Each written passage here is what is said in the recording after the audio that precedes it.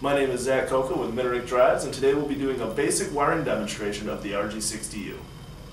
The first thing we'll wire up is the maid speed potentiometer. Take the male terminal block and put it in the female terminal block on the drive. With the speed pot in hand, take the common lead that will be wired into S0.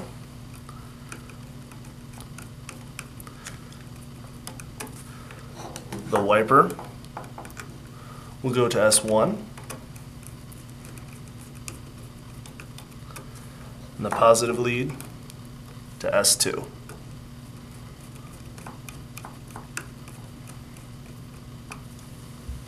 Next, we'll be wiring up the inhibit switch and the enable switch. These go into the terminal block right here in the middle of the drive. You can use a screwdriver to open up.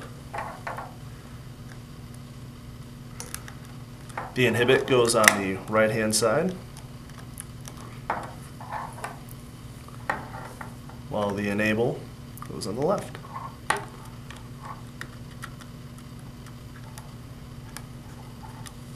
Like so.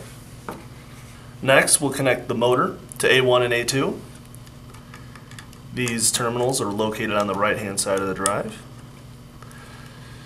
And next, we need to switch if we were using a 90 volt motor or 180 volt motor.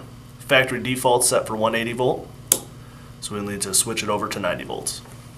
Next, we'll connect power to the drive. On the bottom board, there are two switches located in the front. These set the input power voltage. They're factory default set at 230 volts AC. We're using 115. You have to make sure to switch both. And then on the left-hand side of the drive is L1 and L2. Plug the hot lead to L1, common lead to L2. Now let's quickly go over a quick test procedure to make sure everything is working properly. Let's turn up the speed pot, give a little motion to the motor. Let's make sure the drive will coast the motor to stop when we flip the enable. And make sure the drive will immediately stop the motor when the inhibit is switched. Alright, everything seems to be working perfectly. Thank you for watching this basic wiring demonstration on the RG60U. For more advanced wiring configurations, please refer to our other videos.